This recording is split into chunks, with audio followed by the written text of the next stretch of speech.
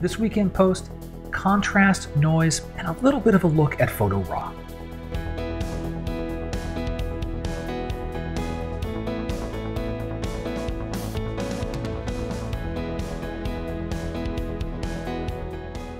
Hi everybody, I'm Scott Davenport and welcome to In Post. Today's episode's a Q&A episode. To talk about a, couple of the questions that have come in over the last few weeks. And uh, if you have a question about photography or about post-processing, go ahead and hit me up through my website, comments on the video, uh, Twitter, Instagram, Facebook, pick a platform, chances are you're going to find me. And with that, let's just get right into it. First question is from Pete, and he asked, I'm adding an HDR look in ON1 effects, and it's adding noise to the image. You know, how do I combat that? Okay, well, uh, when I first heard this question, uh, the, the most immediate thing that popped into my head was we're not actually adding noise, we're probably going too far on the contrast.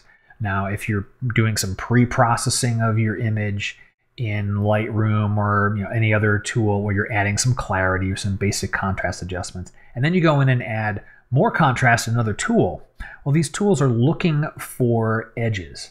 And especially in something like uh, a clear blue sky, we're to start to see some noise. So um, I'm going to show you here, uh, I'm using Photo Raw, the pre-release, so the screenshots might not be final, but uh, this would be a, a, good enough place as any to go and look at things. So I'm going to zoom into this blue sky area here. Now I haven't done any retouching or dust spots or things like that, but let me go over into the effects module.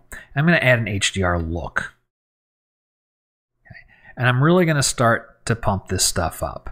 And what we're going to start to find as I go farther and farther and farther, all this area in the sky here, this was clear blue sky. And now it's getting crunchy, it's getting grainy. Well, that's what happens when we over push any type of contrast. I happen to be using a detail slider in an HDR look. I could be using dynamic contrast. I could be using Lightroom clarity. Contrast in Aurora HDR. Pick a program that adds contrast. And if you push it too far, you're going to have this problem. What's going on is the tools are looking for differences in tone. They're trying to find edges, and so it's finding you know edges differences between these clouds here in this blue sky, and even in the different tones of blue, it's finding differences and then exaggerating them, and so you end up with this you know pixelated, noisy result. So that's what's going on, Pete. Uh, you know, it's chances are you're, you're pushing the sliders a bit too far. So you know, back those off. And if you find that if you're using, say, Lightroom at the front end of your processing, uh, then you want to add more of a contrast look with a different plugin, back off on the contrast work in Lightroom. Or you know, do it all in Lightroom and back off wherever you end up landing for your stylization. If you push things too far, you're going to see that crunchiness. And one other question today from Don, and he asked a question about Photo Raw. Can I tell that a photo has been developed or stylized in Photo Raw?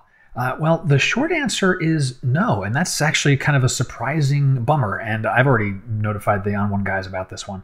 And I think if uh, there's a Photo Raw project, pop on over there and say, hey, I, I want this feature. I add this in. I think it'd be useful. You're kind of continuing on with this um, garishly horrible HDR treatment I've given to this uh, this photo now. But uh, let me go return to the browse view. Now, the only way I could tell that this photo has been worked on is the preview is updated. So in this case, it's very obvious that I've done something to this photo. But there are no badges to indicate that, right? I don't have any star ratings. I could I could assign a color, I could say a favorite or reject it. But there's no other indicator to say this photo has undergone some type of adjustment, whether it be in develop or in effects. And I think that would be a very handy thing to add in, not only to the visual, the display here, but add that into our filters so we can find photos that have or haven't been developed. So I think that's a really good enhancement. And uh, again, I'm, I'm going to shoot this over to the ON1 guys. I encourage everyone else to do the same if you want to see this type of feature. So, Don, really good question. Right now, though, there's really uh, no solid answer other than you got to look. And if you've done a sufficient amount of adjustment, it should be obvious. And that's it for today's In Post episode. Short, sweet. Hope you've enjoyed it. Again, if you've got questions, send them on in to me. You can contact me through the website, comments on the video. And if you enjoyed this, let me know somehow. Thumbs up, likes, plus ones, share this with a friend. All that stuff is always appreciated. And until next time, my name's Scott Davenport. Happy shooting.